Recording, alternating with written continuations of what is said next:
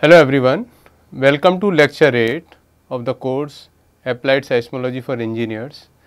Myself Dr. Abhishek Kumar. In lecture 7 we discussed about different kinds of seismic waves which are generated at the source primarily the P waves as well as the shear waves. When these waves interact with superficial and near surface mediums, again waves primarily Rayleigh wave and Love waves come into picture. We also discuss about the characteristics of the medium through which these waves can propagate and also we discussed in lecture 7 that when these waves are passing through a particular medium, what kind of particle motion is generated. Recalling that when primary waves are passing through a particular medium, there will be compression and rarefaction. There will be particle motion happening in longitudinal direction when shear wave is passing through particular medium, it will cause back and forth motion in perpendicular direction or shearing in perpendicular direction as a result of which there will be shearing happening in perpendicular direction in horizontal plane as well as in vertical plane. Collectively if we are interested to find out the shearing happening in a particular plane, so that can be approximated by means of application of torque on a particular section. We also discussed about primary wave and secondary wave shear zones, uh, shadow zones which are primarily because of significant change in the physical properties of the medium and depending upon the whether the medium is offering resistance to propagation of wave or not. Some waves will be able to propagate through solid liquid also, other waves will not be able to pro propagate through liquid as well as gas. As a result, there will be shadow zones where with respect to epicenter there will be some azimuth range within which you will not have any primary wave. Similarly, there will be some range of azimuth with respect to epicenter where there will not be any shear waves. So, as a result of this there will be shadow zone for primary wave as well as shear waves. In addition, we discuss about ground rolls which are uh, particularly the characteristics when a Rayleigh wave is passing through a particular medium representing elliptical motion in the particle. We also discussed that the amplitude of Rayleigh wave as well as Love wave significantly reduce as we move from ground surface to deeper depths. If you go to Love waves, there will be motion completely in horizontal plane, there will not be any motion in vertical plane. Then as we discussed that these ground motion recordings or seismic waves will be reaching to different different recording stations so, it will be starting from the source and will start propagating in all the direction. If we are having a recording station, wave will reach to a recording station and the, the recording station will sense the characteristics of the wave as these change with respect to time. If you start analyzing the seismogram that is the ground motion signature recorded by a recording station, one is also able to understand where the primary wave content is coming into picture, where shear wave is coming into picture and accordingly we can utilize this information that is the arrival time of primary wave, the arrival time of shear wave which is marked at a recording station by means of ground motion record. Use it to understand and locate primarily the location of the earthquake that we generally target to locate the epicenter of the earthquake. We also discussed in yesterday uh, in lecture uh, 7 that we have to have such records of arrival time of primary wave and secondary wave from at least 3 number of recording stations. If it is less than 3 number of recording station, then we may narrow down to some area which is significantly larger than actual area of epicenter location which can be narrowed down if record from more number of recording station is there.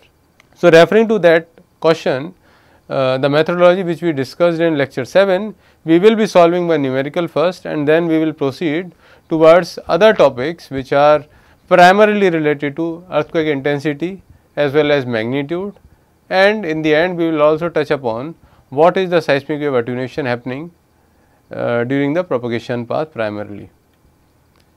So, taken into account the formulae which we discussed about if we know the time of primary wave or secondary wave reaching to a recording station and velocity, that can be correlated with respect to the distance from which primary wave or secondary wave was generated. But in this particular case since the actual time of arrival is also dependent upon when the earthquake wave has started from the source and with respect to that how much delay when the wave is reaching to a particular recording station. So, many a times getting exact information about the arrival time of primary wave as well as secondary wave is difficult. So, if we continue this particular uh, derivation, will similarly we can also derive the time for shear wave arrival at a recording station that is Ts equals to d over Vs, where Ts is the arrival time of shear wave, d is the distance. In this particular case, this distance represents epicentral distance and Vs is the shear wave propagation velocity from a particular medium.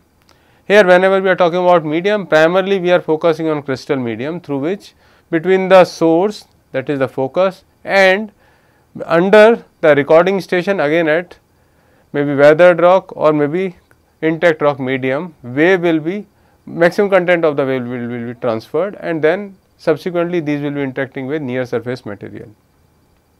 So, we will be targeting with respect to the crustal velocity of primary wave and secondary wave and then time for primary wave similarly can be obtained using this as Tp equals to d over Vp where Tp is the time of arrival of primary wave, d is the epicentral distance and Vp is the wave propagation velocity of primary wave in the medium of interest. So, using these as we discussed in lecture 7, if we take the difference between the two time of arrival, definitely the time of arrival of shear wave will be more in comparison to primary wave because in comparison to primary wave shear waves travel at relatively low value. So, as a result the time of arrival of shear wave will be more in comparison to uh, primary wave arrival time. So, the difference between these two will be called always as Ts minus Tp Referring to the equations which were given in uh, equation number 1 and equation 2, Ts minus Tp can be correlated with respect to the wave propagation velocity Vp minus Vs over Vp times Vs into capital D which is the epicentral distance. So, using this rearranging the terms of equation 3, one can determine the value of capital D is a function of Vp, Vs Ts Tp difference. So, that means absolute value of primary and shear wave velocities and the arrival time difference between shear wave and primary wave at a recording station because of one particular earthquake event. So, we cannot take Ts value from one particular earthquake and Tp value from other earthquake or Ts value from one recording station, Tp value from other recording station. So, both these values of Ts and Tp have to be corresponding to same earthquake same earthquake and same recording station.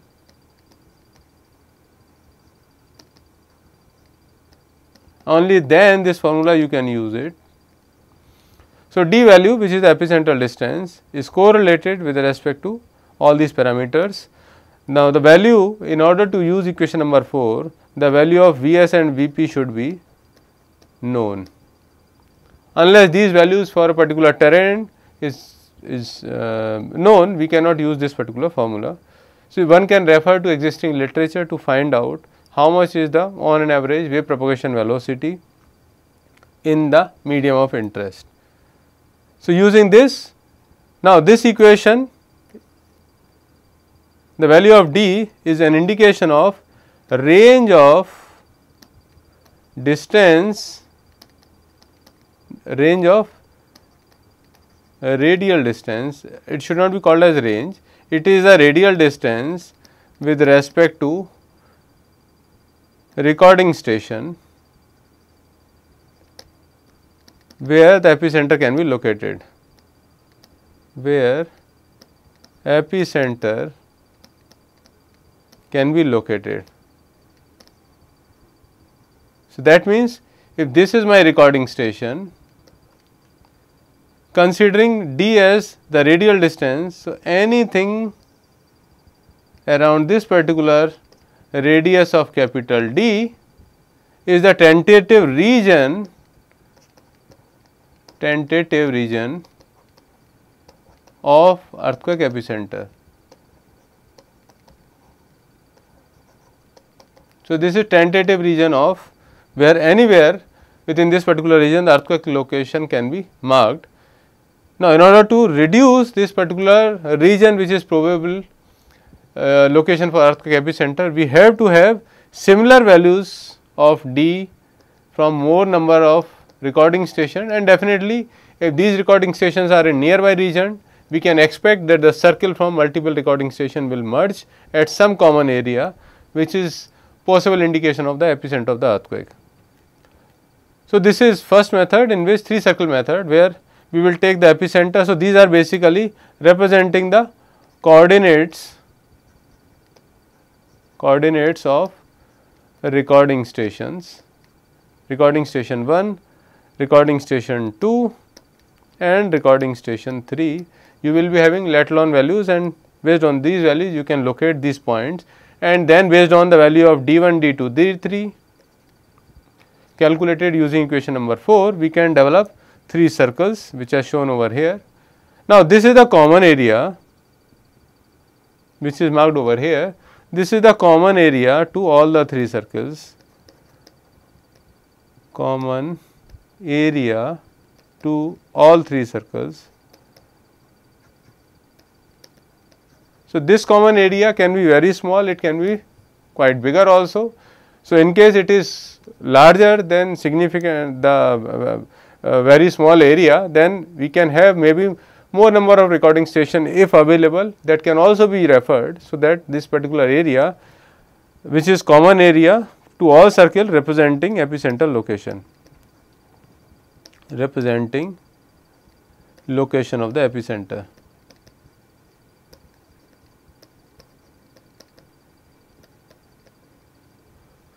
So, this is the location is seismograph coordinates using the record from seismograph one can determine the value of D1, D2, D3, plot these on a graph sheet on same scale and then we will be able to find out the location which is common to all the recording station. Now, referring to this particular part, there is one numerical where it is given that the arrival time of primary and secondary wave at different seismographs located at different sites means at different different locations, but certainly in close by regions. So, recording station uh, that P wave arrival time, S wave arrival time is given and lat lon of that particular seismograph is given. And then it is also given that 1 degree of latitude equals to 111 kilometer and longitude it is corresponding to 88.2 kilometer respect to the given value of latitude. So, generally when you are converting longitude to kilometers, you will also refer to what is the latitude of that particular location and use it. So, this can this has to be estimated based on uh, 3 circle method.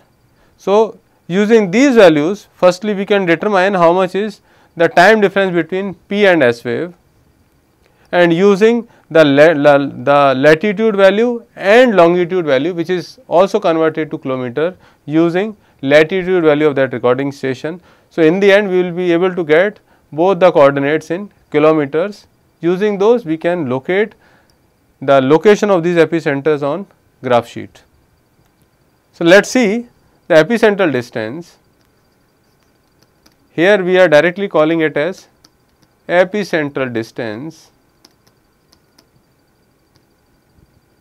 for station 1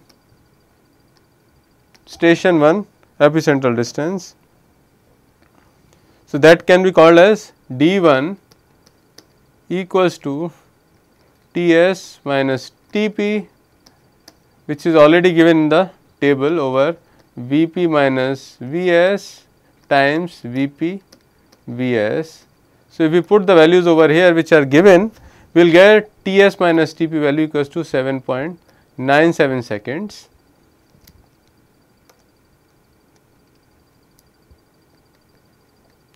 and the average velocity of primary wave propagation and shear wave propagation is taken as 6 and 3 kilometer per second respectively. So, using this one can determine the value of this as 47.82 kilometers. Be careful with the units.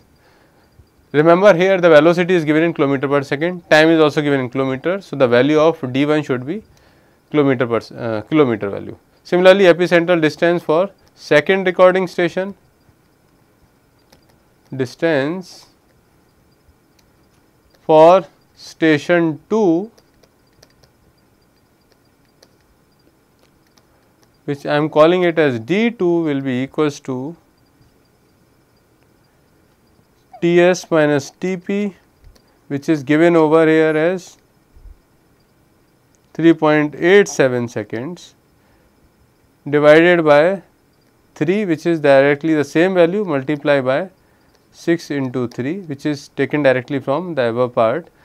This is going to give you 23.22 kilometer as the radial distance from station 2 where epicenter can be located. Third part is epicenter location or epicentral distance with respect to station number 3. So, D3 again can be calculated as Ts minus Tp which is given for station number 3 as 6.27 seconds divided by 3 into 6 into 3 which is going to give you 37.62 kilometer. So, we are having the value of ds, d1, d2, d3 using this and taking the coordinate of the recording station, we will be able to develop these particular 3 circles.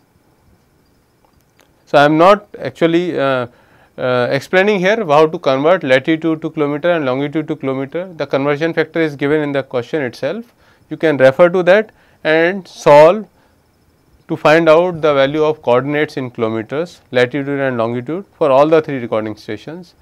Once you plot it using suitable scale on a graph sheet, you will be able to locate point D1, D2 and D3 that is based on the coordinates of the recording station. Then taking the value of d1, d2, d3 which is representation of this particular distance, d2 is representation of this particular distance, d3 is a representation of this particular distance. One we will be able to develop these three circles and the common area corresponding to this is basically this particular area. So, on the same graph sheet one can read how much kilometer along x axis, how much kilometer on y axis, convert it from kilometer to degrees one we will be able to determine the epicenter coordinate.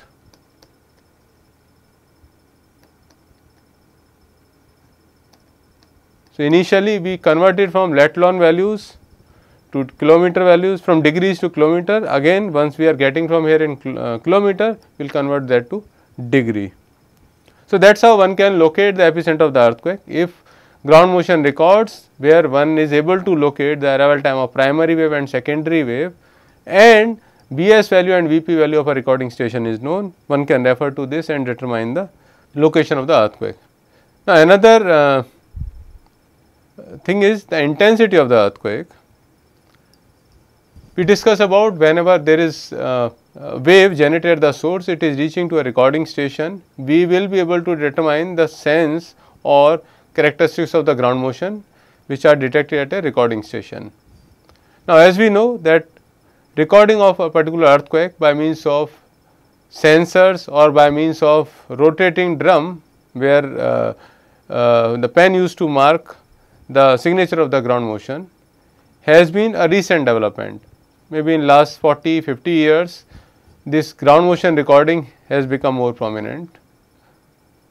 However, if we discuss about earthquakes and its related damages, most of the damages related to great earthquake which have happened in uh, 1700, 1800, 1900, most of the dam, most of the damages have been known in terms of casualties, in terms of building damage, in terms of maybe some scenario which was witnessed by people living in the epicentral region or in the region where lot of damages had happened.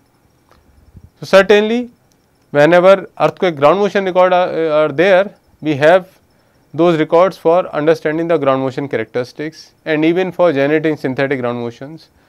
But at the same time we cannot completely ignore that such records of ground motion are very limited which is like for last 50 years 60 years. However, if we have some information about some damaging earthquake which had happened in last 200 years 300 years like that we will get more information about what is the damaging characteristics of an earthquake. So, referring to this and in the absence of any ground motion recording instrument, the only way which many a times researchers have referred to is measuring the intensity of earthquake.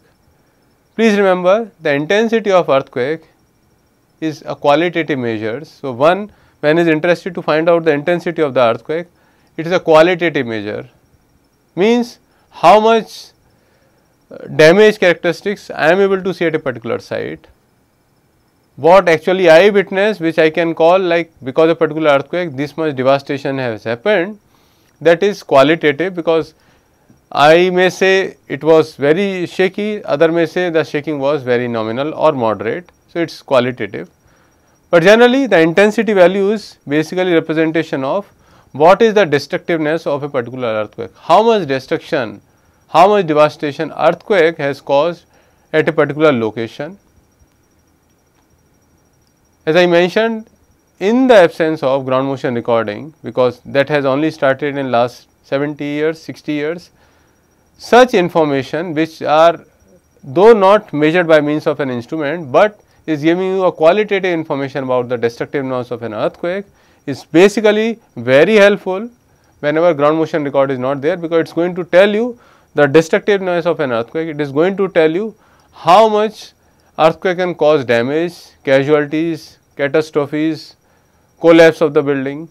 Even many a times if we run, one refer to uh, intensity maps or intensity scales, it is clearly mentioned the waves were so intense even it was visible near the ground surface. So, particle motion was visible near the ground surface was also one of the signature which people have witnessed and it cannot be denied that since there was no recording instrument such ground motion was not witnessed. So, these are very helpful. Generally, it is measured in terms of how the earthquake has affected in terms of ground shaking, in terms of building damage, in terms of damage to dams, bridges and other structures as witnessed by a particular uh, person who is staying in the particular area. So, it is like whenever particular damage has happened during a particular earthquake, one can visit those particular site as used to happen in um, earlier days also that whenever some earthquake caused lot of devastation, then specific team or researchers used to visit particular locations, they will interview people and understand, try to understand what actually they witnessed during a particular earthquake. In addition, they will also see if connectivity is uh, resumed within a short span of time, then certainly people can go and themselves they can witness uh, what damages have happened Otherwise, if the if the connectivity is not there, then they have to solely rely on the people who are already there in the area undergone de, uh, destruction. So, if we go there, we interview people what actually you have witnessed during a particular earthquake and depending upon what classification, what information they are going to tell, there are standard classification charts. So, we can compare what particular person observer is telling about the damage of an earthquake. If we are able to witness those damages also by visiting a particular site, provided the connectivity to that particular site in terms of air connectivity, rail connectivity, road connectivity has been resumed before rehabilitation work has completely started. So, once this particular destructiveness of an earthquake is either experienced by observer or experienced by a researcher or researcher team, we can compare this with respect to the maps. So, uh, the, the charts which have been given by different uh, intensity scales and then depending upon which particular intensity scale is describing the similar characteristics of devastation, we will assign the same value of intensity to the particular area. Since the values are assigned as per the sense of an individual, there are always uncertainty I may say it is very damaging, other may say it was moderate or even the third person who is not that much sensible with respect to uh, earthquake shaking may say I did not feel at all. So, uh, many a times there are a lot of uncertainty with respect to assigning intensity to a particular location where uh, the person who is known to intensity scale has not ex been exposed directly to the devastations happened in the particular region. But I as, as I mentioned that particularly in India if you refer to earthquakes like 1905 Kangra earthquake, 1934 Bihar Nepal earthquake, 1897 Shillong earthquake, 1950 Assam earthquake and many more earthquakes.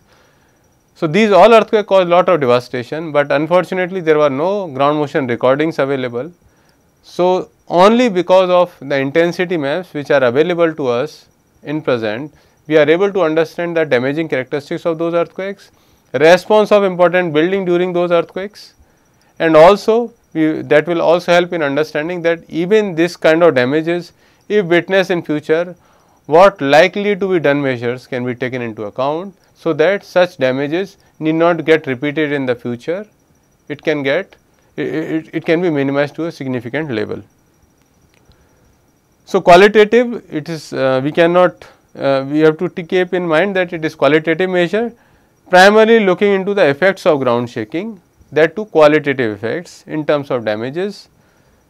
Values are assigned as per the sense of an individual maybe you can uh, interview more than one person and see what they are sensing and then based on the classification of damages reported by the people one can go and assign intensity.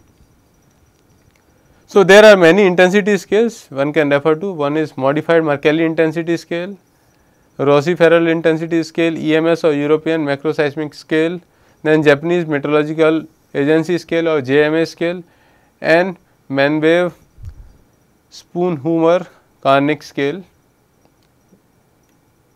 Since the intensity of earthquake is different, so it is not constant whenever we are referring to intensity of a particular earthquake, it is mostly related to the damage happened at that particular location. So, if I am telling particular uh, site has an intensity of 7 that means whatever damage happened at that particular site x was representation or uh, of intensity 7 as per a particular intensity scale. Again I will go to another site y which may be located very close or in different direction with respect to epicenter which might have experienced more damage then certainly I will assign higher intensity value to that particular location y. That means depending upon the destructiveness even during same earthquake the intensity of damage and the intensity values can assign be different. So, different values can be assigned to different stations depending upon how much damage, what is the characteristics of damage experienced during same earthquake at different different locations. So, points if you join the points having same value of intensity, you will be able to develop contours. So, contour map joining same intensity values are called as isoseism, those are called as isoseism.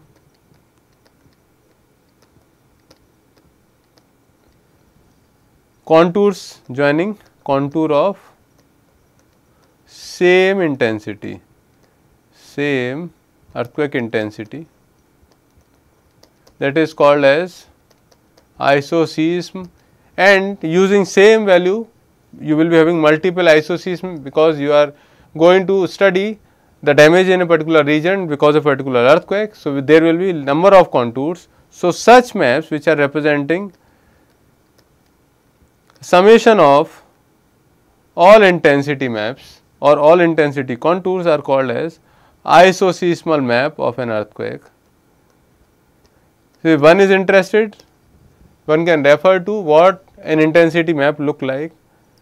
There are intensity maps available for 1934 earthquake, 1905 earthquake, 1897 Shillong earthquake and many more earthquakes. So, one can refer to the intensity maps which are available for those earthquakes and even without having ground motion record that will give an understanding about what's what uh, level of damage devastation had actually triggered during these historic earthquakes or these earthquake where ground motion records are not available.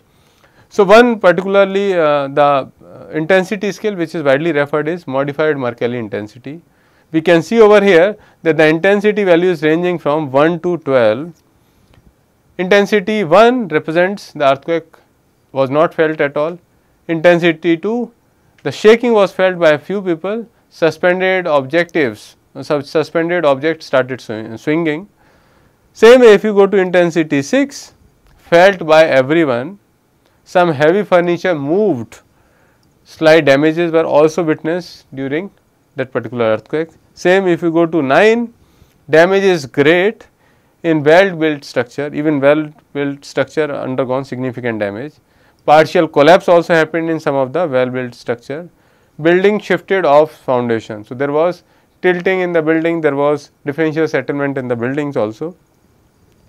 Similarly, intensity value of 12 total damage even line of sight and level were distorted and objects were thrown in air. So, this is basically more elaborate discussion about when you will assign intensity value of 12 to a particular recording station or a particular observation uh, site just by comparing the damage which has happened at that particular location with respect to the classification of damage for different different intensities given in this particular chart.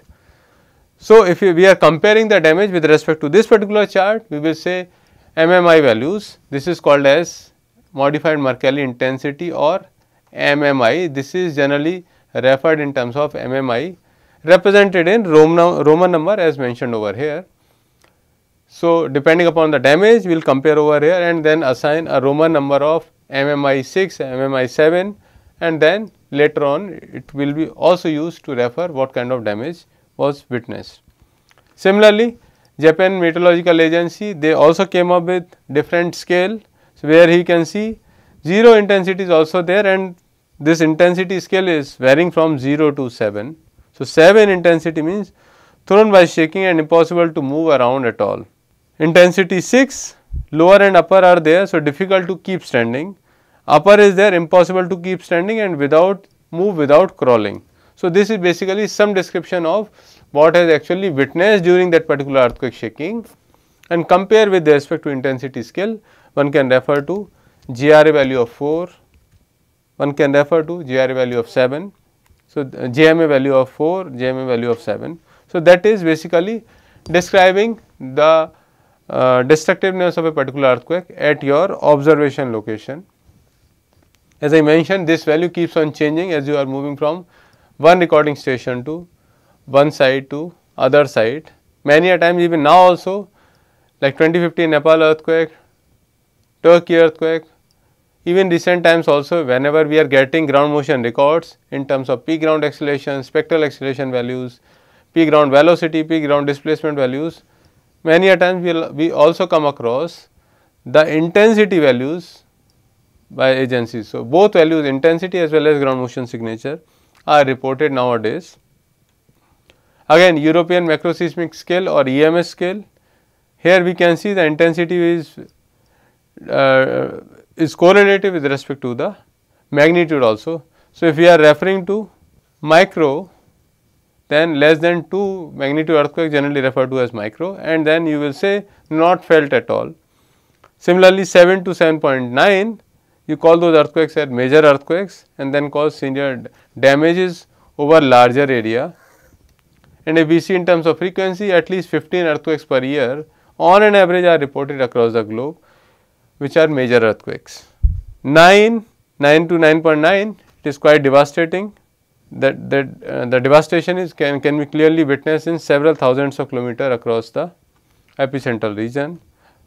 And generally these are reported once in 10 years and even uh, many times less than that also. Above 10 maximum reported earthquake was close to 9.2 above 10 generally not reported. So, that is why it is not reported so far. So, here we can see about the classification as well as correlative with respect to magnitude as well as how frequently such earthquakes are happening across the globe. Same way with respect to RFI or Rossi Forel intensity scale which was proposed. Here we can see again the scale is varying from 1 to 10, 1 again referring to recorded by a single seismograph or the shock felt by an experienced observer only. So, many a time people are not sensible with respect to uh, very low value of shaking, but some people are very sensitive. So, they will be only able to understand that there has been some shock, some uh, uh, kind of vibration in the ground has been sensed by experienced observer. Similarly, if you go with intensity of 6, fairly strong shock, general awakening of those which were awake, uh, were asleep, ringing of bell, oscillation of chandeliers, stopping of clock. Again 8 very strong falling of chimney, cracks in the wall of the building were witnessed. So, if you are witnessing these things you simply assign an intensity value of 8 in RFI scale. Please remember whenever we are developing an intensity map or whenever we are explaining that particular site had undergone damage corresponding to that intensity, we have to also refer to which scale one is referring to. Because here going with this particular part certainly we cannot say RFI value equals RFI of 12 because the intensity scale does not go to 12. So, it goes to 12, but not in RFI it goes in MMI value. So, one has to be very particular about which particular intensity scale you are using and corresponding to that value of intensity whether the actual damage at a particular site were also witnessed or not. So, one has to be very careful while assigning intensity and developing the isoseismal maps. Now, as I mentioned that uh, firstly is intensity though it is important because whenever earthquake records were not there destructiveness of an earthquake can be correlated very well with respect to intensity values and it is primarily the, the intensity or isoseismal maps for historic earthquakes which are known which many a times are referred even now while generating synthetic ground motion while understanding the that the such devastation should not be repeated in near future. But at the same time it is a qualitative measure. I may say it was very intense, you may say it is very it, it was moderate or it was minor intensity values. I may say building damage during a particular earthquake, other may say the, the damage was very minimal to call it as significant damage. So, it is again qualitative measure and it certainly depends upon how the, the person whom we are interviewing, the, the, observer whom we are interviewing to develop intensity map, how much that particular person is sensible to ground motion. Thirdly, we cannot deny the fact that intensity at a particular station can only be assigned when some signature of ground motion, uh, ground damage is actually available to the particular site of interest. That means, if there is a site where there is no building, there is uh, no one staying there, certainly how we are going to quantify the intensity of that particular earthquake. So, we cannot assign that intensity even though the ground vibrations was, were more because no one was actually present there to witness or to feel some characteristics of ground motions or shock which was witnessed at that particular site during a particular earthquake. So, keeping those there will be always uncertainty with respect to intensity values because these are uh, based on individual's experience which may vary from one person to other. Secondly, the intensity value is not constant, it keeps on changing depending upon the region and how much damage has triggered in that particular region. So, in order to actually quantify the, uh, the magnitude of the earthquake is a better term which is primarily dependent upon the ground motion signature available at a recording station. So, unlike intensity which determines the effect of an earthquake motion on a building or a person. Earthquake magnitude is a measure of the size of the earthquake. How big was the earthquake? It is measured, it is a constant value for an earthquake and is not a variable just like intensity. So, intensity was changing with respect to the site of observation. Earthquake magnitude remain constant and is directly related to the size of the earthquake which has happened. So, size of the earthquake during a particular earthquake is not changing with respect to location, hence the intensity values may change, but not the magnitude. Since the earthquake magnitude is determined using suitable ground motion records, the determination is a quantitative value. Intensity was qualitative, this is quantitative measures. It is going to give you always some value of quantity, how much was the magnitude and for that particular earthquake magnitude, uh, uh, for that particular earthquake the magnitude value remains constant. Each step increase in earthquake magnitude represents an increase in amplitude of the vibration by a factor of 10. So, if we are talking about two earthquakes, one is having magnitude 5, other is having magnitude 6, then magnitude 6 will have more than 10 times higher amplitude with respect to magnitude 5 earthquake. Thus, vibration caused by magnitude 2 will be 10 times higher than magnitude 1. If we are comparing 3 and 1, it will be 100 times. So, 10 times between 1 and 2 and again 10 times between 2 and 3. So, it will be 100 times more. Increase in seismic energy on the other end because whenever rupture is happening at the particular fault, there will be a release of seismic energy in terms of seismic waves which are propagating and carrying this seismic energy to larger distances. When these seismic energy is interacting with the medium, soil, structure, building, dams, tunnels, it will it will uh, sometime it will undergo partial damage, sometime it will be always ground shaking, sometime increase in pore water pressure, sometime complete collapse. So, this increase in seismic energy is 30 times higher when one increase in the magnitude of the earthquake. So, that means magnitude 5 will be have, will be releasing 30 times more energy in comparison to magnitude 4 earthquake. Magnitude 6 will be releasing 900 times more energy with respect to magnitude 4 earthquake. So, 4 to 5 30 times, 5 to 6 30 times. So, 30 into 30 900 times more energy will be released with respect to magnitude 4 when magnitude 6 earthquake happens. The largest ever recorded earthquake was approximately 9.2 magnitude earthquake. Beyond 9.2 is not possible many a times because before any further continuation of seismic energy continues in rocks, there will be some earthquake or there will be some failure in the material alone. So, various magnitude scales have been developed to calibrate the ground motion characteristics and to take those ground motion properties to find out how much energy has been released during a particular earthquake. So, type of magnitude during a particular earthquake, one is Richter magnitude or local magnitude. As I uh, mentioned that firstly Richter magnitude came into picture where, which will take into account Wood Anderson seismograph consisting of a rotating drum and marking the ground motion by means of stylus or pencil this particular scale many a time we will also hear about local scale. So, more or less both terms are used back and forth. Other one is seismic moment magnitude or moment magnitude MW which is more prominent with respect to the energy release. Then body wave magnitude which primarily use content of body wave, surface wave magnitude. So, these are primarily the four ways in which one will come across whenever there is an earthquake, there is a magnitude of a particular earthquake.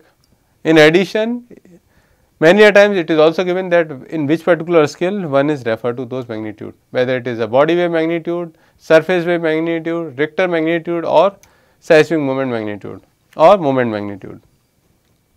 So, Richter scale it was developed so, it was proposed by Charles Richter using Wood Anderson seismometer. The scale was designed for earthquake in southern California and recorded by a network of Wood Anderson seismometers. All the uh, scales which exist today stem from one scale that is Richter magnitude that gives an idea that ground motion signature alone can be used to find out the size of the earthquake. So, this is now here we can see ML which is definition of Richter magnitude, it is a function of log A which is the maximum amplitude traced in millimeter by a Anderson seismometer. F delta is empirically determined calibrating function of the epicentral distance delta. The value of delta is 0 for epicentral distance of 100. For other values of delta, there are calibration charts and empirical correlations are also available. So, you put the values of delta over here, then we will get the value of f delta and corresponding to the same recording station which is located at delta epicentral distance, how much is the maximum trace amplitude in millimeter. So, using those values of A and F delta put in this particular equation, one will be able to determine how much is the local magnitude or Richter magnitude. The value of ML obtained at nearby stations are somehow smaller than those of distant stations primarily because of attenuation was not properly accounted in Richter scale. It is used to measure the amplitude at specific frequency example 1 hertz while the frequency of moderate to large earthquake beyond will have even lower frequency values. The earthquake sites could not be measured from just single seismometer thus analyzing data from multiple number of ground motion records located uh, globally used to delay many a times the establishment of magnitude of a particular earthquake. And Richter scale generally saturated at 6.5 magnitude and thus many a times whenever a larger magnitude earthquake happens, it will report 6.5 magnitude and thus it will underestimate the seismic energy released during bigger earthquakes. Now, here one we can see about the magnitude of the earthquake. Take a ground motion signature. So, here we can see that based on the signature one we can get is what is the peak amplitude or how much is the peak motion with respect to its mean position which has been detected by a recording station using those peak amplitude and taking the location of the recording station as well as the difference in the time between P and S wave, one can locate the loca one can locate the point on this particular vertical line as well as in this particular line.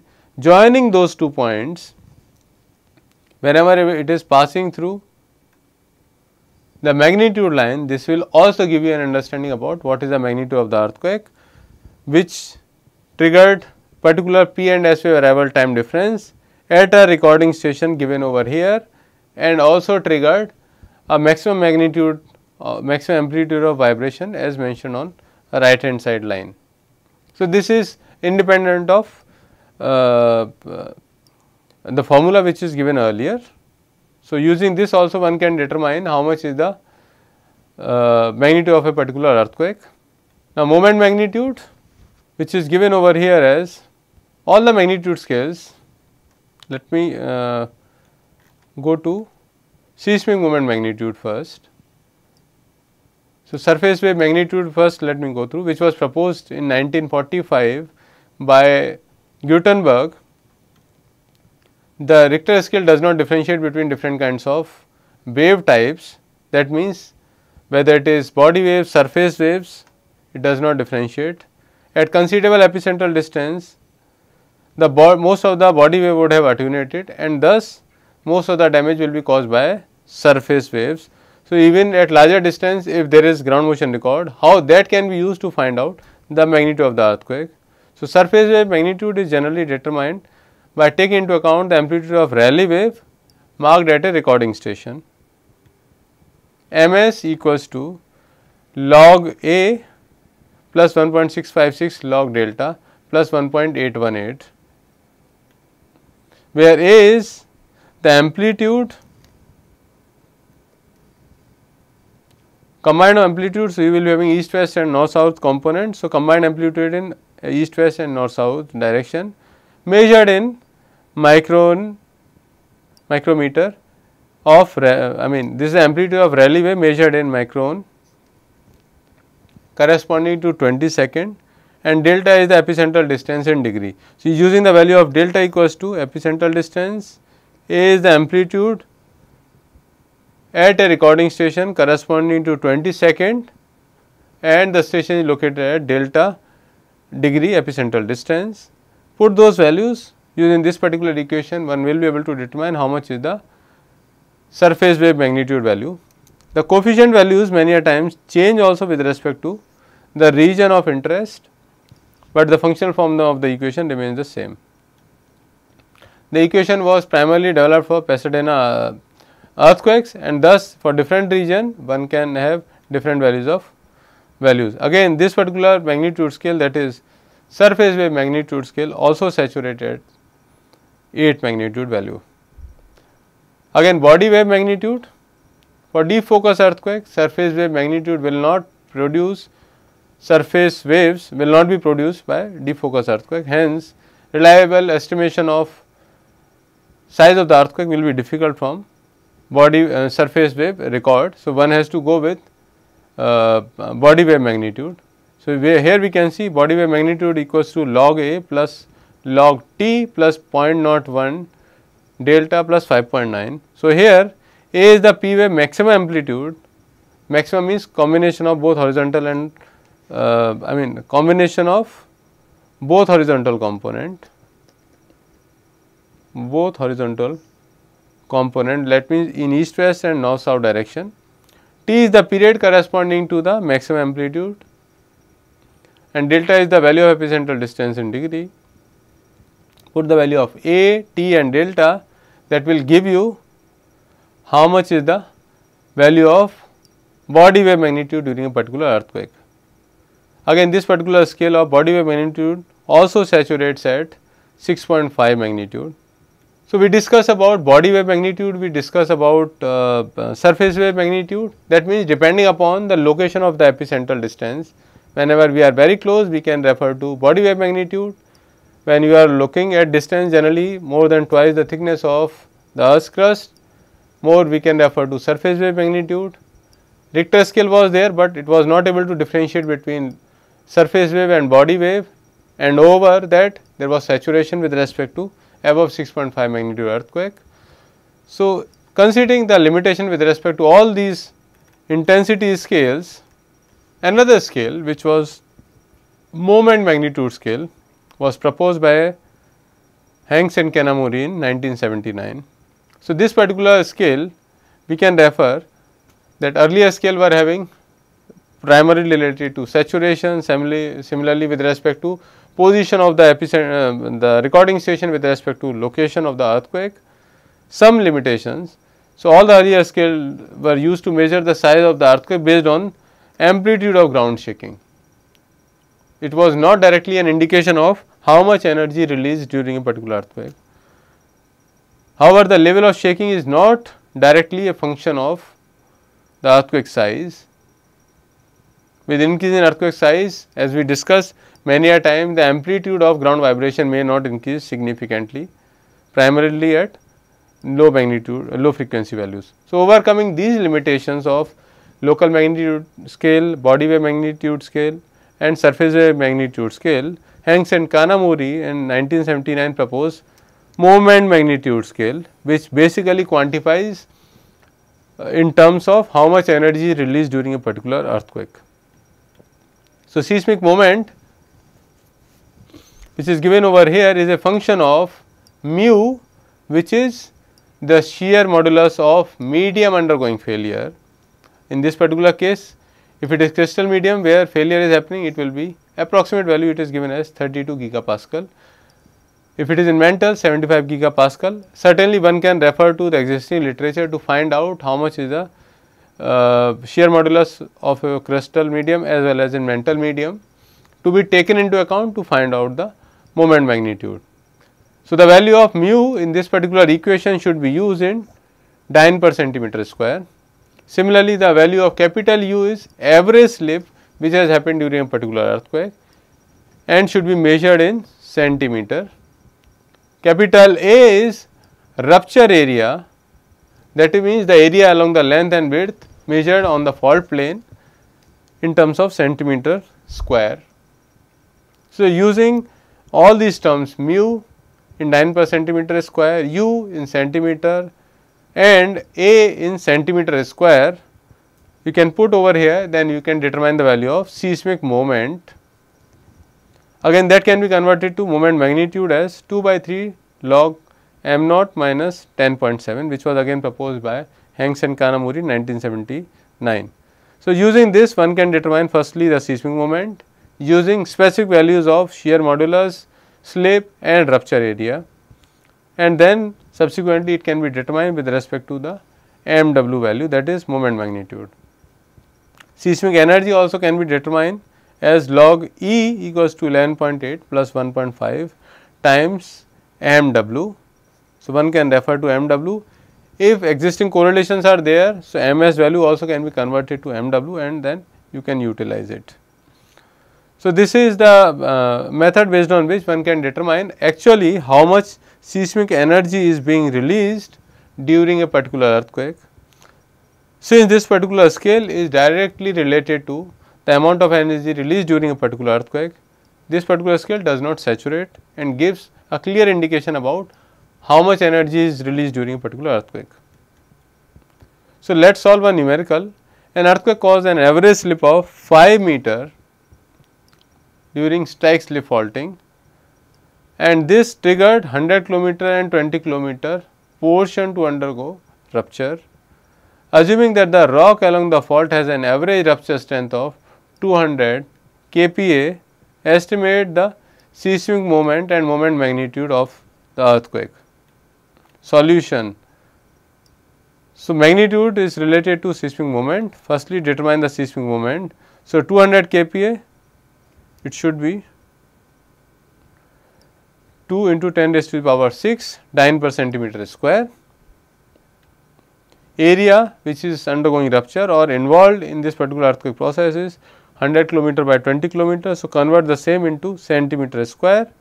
U average slip was which was 5 meter equals to 500 centimeter. Using this one can determine how much is the seismic moment in terms of dyne centimeter.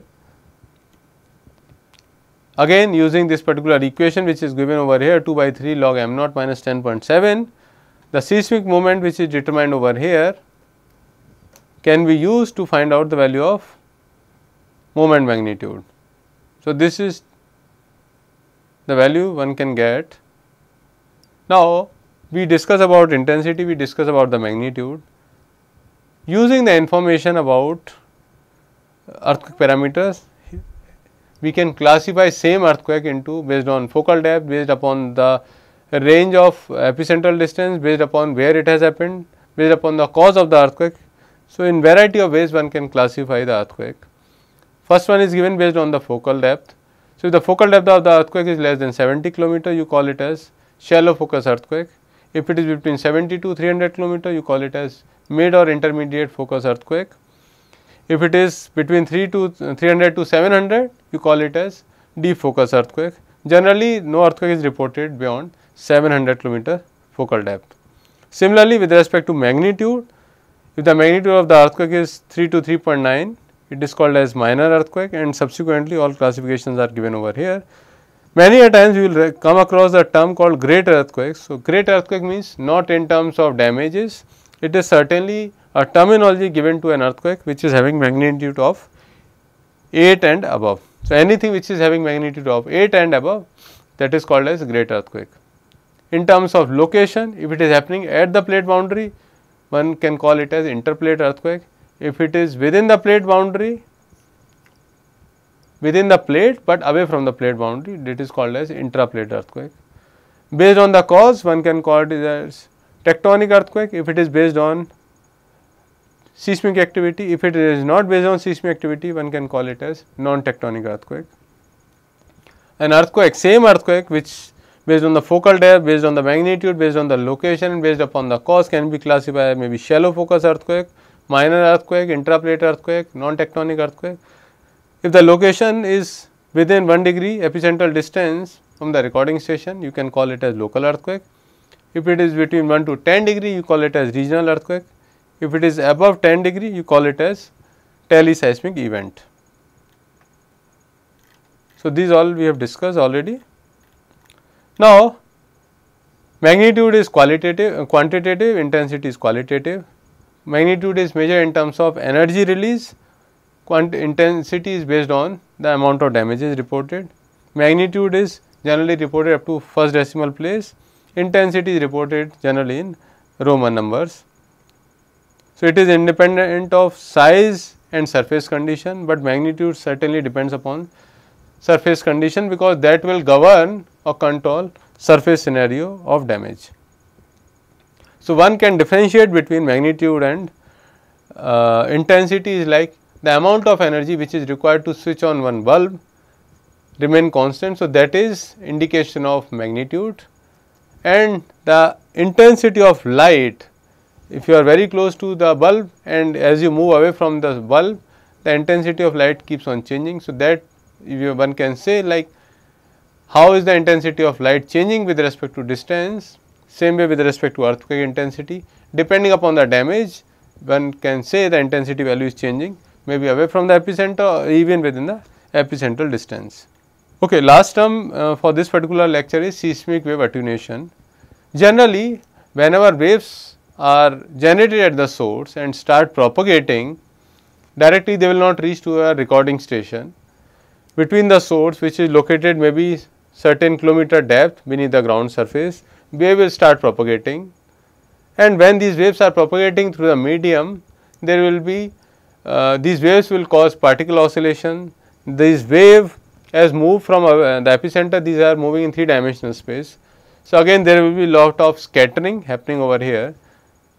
Collectively because of these processes whether it is heat, because of particle motion, because of scattering, inelastic attenuation, there will be redistribution of energy at every point the wave is progressing in the propagation medium. As a result of this redistribution, generally a decrease in the amplitude of the wave away from the focus is observed. So, this phenomena which is resultant of which is resulting in the attenuation or decrease in the amplitude of the wave that is called as seismic wave attenuation. This primarily happens due to two factors. One is geometric spreading because as you are moving away from the epicenter a larger area because wave is distributing in three dimensional space. So, as you move away from the epicenter though it is starting from a point or a particular rupture area as it grows larger area is now involved. So, there will be redistribution of energy it is covering larger area. So, geometric spreading larger geometry is now involved in which the waves are spreaded spherical wavefronts that that is what I am mentioning. The geometrical spreading account for reduction in the amplitude of a given seismic wavefront as the area of wavefront increases and one has to conserve the energy. So, as you move away there will be reduction in the wave energy.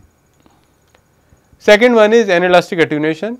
So, when waves are interacting with the medium we have discussed that each time every wave is propagating through a particular medium there will be oscillation in the particle because of this motion there will be relative motion in the particle, many a time there will be generation of heat. So, because of this heat again further there is reduction in the energy the wave was carrying to larger distances away from the epicenter. So, inelastic attenuation again can lead to reduction in the amplitude, again can lead to attenuation in the seismic waves as you move away from the epicenter. Inelastic attenuation can be quantified with respect to quality factor which is proportional to the ratio of mean energy contained in one cycle to the energy dissipated during one cycle. In addition to this, if along the propagation medium there is heterogeneity present, again that heterogeneity will cause redistribution of energy that will have effect on the amplitude of the wave. So, collectively when we are discussing about geometric spreading, uh, because of medium heterogeneity, because of heat, because of inelastic attenuation, collectively all these are leading to increase in the amplitude of the wave which is reducing as you are moving away from your focus and moving away from your focus. So, thank you all with this uh, we have come to the end of lecture 8 which gives a, a broader perspective about how one can determine the the uh, the magnitude of an earthquake, how one can quantify the intensity of the earthquake, how one can uh, locate a particular earthquake and whenever waves are passing through a particular medium, what are the different uh, uh, phenomena happening leading to redu reducing the amplitude of the wave. So, thank you everyone.